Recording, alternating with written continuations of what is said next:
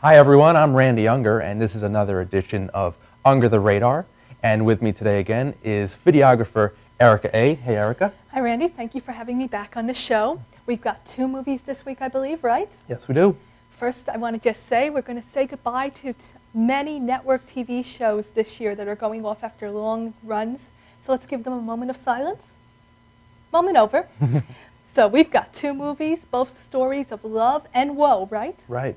So the first movie we're going to be reviewing today is called Equals, and it is a futuristic love story starring a stone-faced Nicholas Hoult and an even more stone-faced uh, Kristen Stewart. But at least she gets the blink in this movie. Yes, she does. Here's the trailer, guys.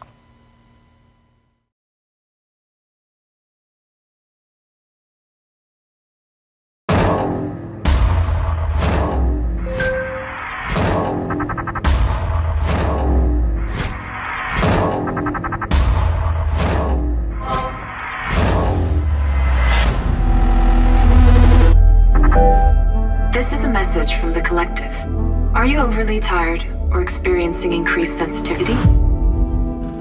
Remember, physical contact or displays of feeling are a danger to all of us. Let's do our part to help contain this disease. Did anybody see that? Anyone recognize it? That's her first jumper in a while.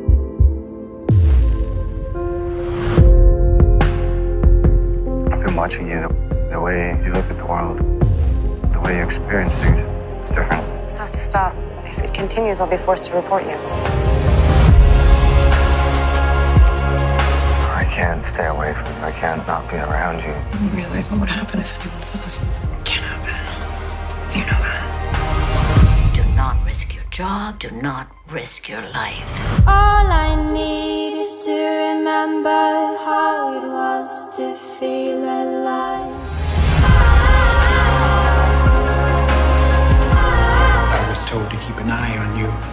Is there something you want to tell me? He knows. What are we gonna do?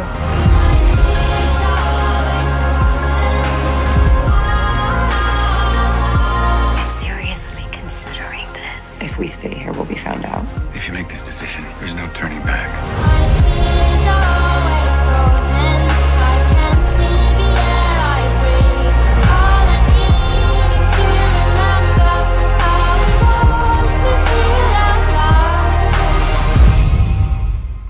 Need to remember how it was to feel alive. Just remember what this feels like.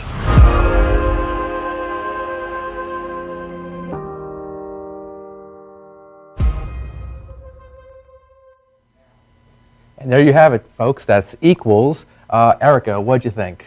Well, personally, I did enjoy the movie. It was a good sci fi movie for what it was. It wasn't a great story. The characters, though not the best acted, were enjoyable, and I did care about them, and I was vested in it. Okay. Well, you liked it a lot more than me. Yes. um, the only thing I appreciated about this film was the strong visual style. Well, the visual style was beautiful. Yes. The way it was set up, the angles, the coloring, the shadows, Yeah. and just the whole world they created. Right. It just it felt like a giant uh, Apple store, in my, in my opinion. But um, you've got two good-looking leads, Mm-hmm. except I did not care about them at all. I don't know about you. Well, like I said, I mean, I don't think it was a great movie. Yeah. It was your basic otherworld, sci-fi, parallel universe. What could have happened if science happened? No more better than like The Giver or any other crazy movie. But a person who enjoys sci-fi, I w- wanted to see the movie. I enjoyed it, and I felt like the characters made a difference. Okay. Just my opinion. That's your opinion, and, and I respect that. Agree to disagree. Um, yeah, but you were mentioning um, some other films. I actually, it reminded me a little bit of The Island, uh, maybe a little bit like Gattaca, that type, but uh, not nearly as good. While I saw it almost more like Minority Report. Okay. Some people are different and they do different jobs Yeah. and they're trying to use science to control humanity. Right. So, guys, basically, if you're in love with Kristen Stewart, go see this movie. No. If not, If it- you love sci-fi, go see it. Not if you love her. basically, it would make a good choice for a late night cable movie or Netflix if you have nothing else to watch. um, okay, so the next movie we're going to be reviewing is called Maggie's Plan, and it is a quirky romantic comedy uh, dramedy, I should say, starring Ethan Hawke, Julianne Moore, and a very, very good Greta Gerwig. Here's the trailer.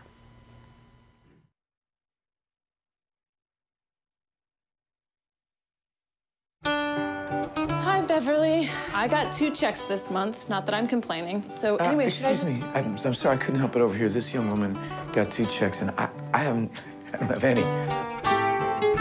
You know John Harding. He's one of the bad boys of fictocritical anthropology. His wife, apparently she's some sort of monster. Wanted to return your book. And again, I have heard myself described as a psychotic bitch, but I think I'm actually pretty nice. You know, I'm curious about you. What aspect of me? Every aspect of you. What does his wife think about that? She doesn't know about it. I think their marriage like fell apart, and now he's trapped in it. I don't want to be married to Georgette anymore. I'm in love with you. Do you want to hear your horoscope? No. He's totally self-absorbed. I'm terrified that I'm falling out of love with him. It's too bad you can't give him back to his ex-wife, right?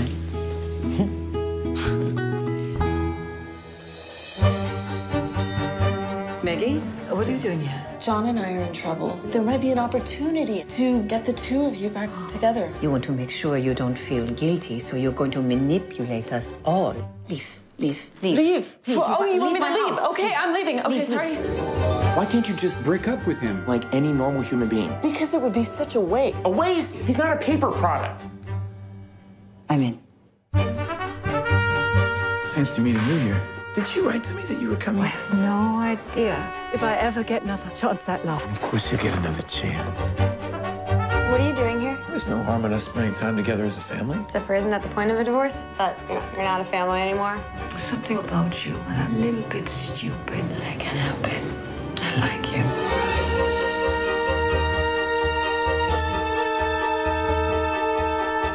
Love doesn't work this way. You can't take everything and stuff it back in the box. It's the tragic flaw in my plan. I've decided to embrace the mystery of the universe and stop bossing everybody around so much. Good luck with that, Bossy Pants.